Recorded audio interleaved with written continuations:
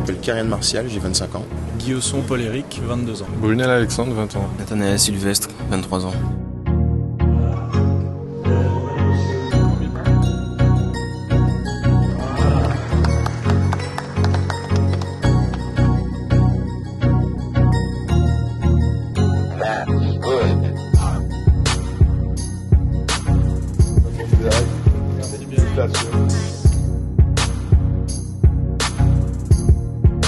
La région Guadeloupe a une commission formation professionnelle qui se réunit régulièrement, notamment pour euh, euh, parler des aides individuelles à la formation. Par exemple, eh bien, un accompagnement pour un retour en Guadeloupe parce qu'il y a des niches euh, d'emploi.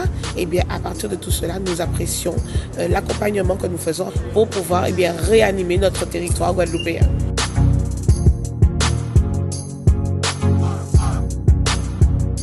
Et on est tous ensemble, une équipe de passionnés qui ont pu euh, réaliser leurs rêves avec toutes ces aides. Et voilà, on remercie tout le monde encore une fois. Il n'y a pas beaucoup de régions qui font ce que la région Guadeloupe fait, mais il faut continuer en ce sens parce qu'il y a beaucoup de choses à faire.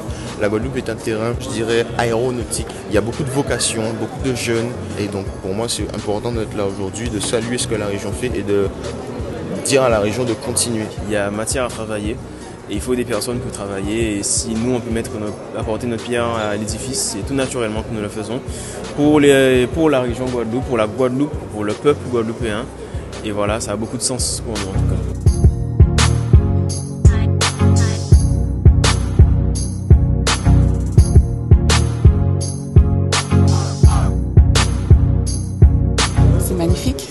Une très très belle démarche, c'est essentiel pour, euh, pour la jeunesse de notre pays. Il faut saluer ce genre d'initiative parce qu'il faut du courage politique à un moment donné de dire je vais accompagner euh, des jeunes, on sait que ça coûte de l'argent, c'est un vrai investissement. Le président Charlus a très très bien fait de former de jeunes Guadeloupéens, formation qui coûte cher, mais qui rapporte aussi à la Guadeloupe parce que ça permet à la Guadeloupe d'avoir des Guadeloupéens dans ce secteur. C'est un secteur qui devrait repartir.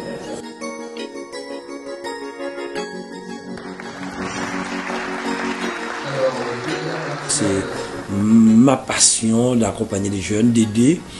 Et c'est pour cette raison qu'on se bat actuellement pour que nous puissions redémarrer le simulateur de vol avec les compagnies de manière à pouvoir former des jeunes pilotes en Guadeloupe, mais aussi des stewards, des mécaniciens et autres euh, en Guadeloupe, et ce qui diminuera aussi le coût de la formation.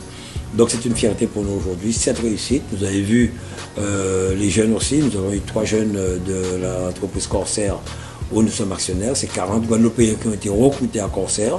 Donc euh, nous avons un bon retour sur investissement et j'en suis vraiment fier.